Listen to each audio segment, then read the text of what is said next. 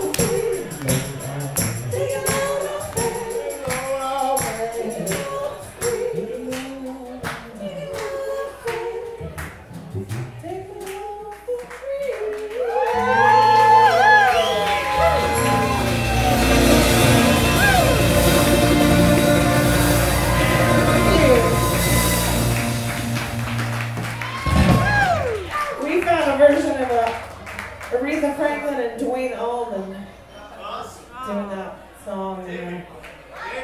That was cool. They finished a little bit.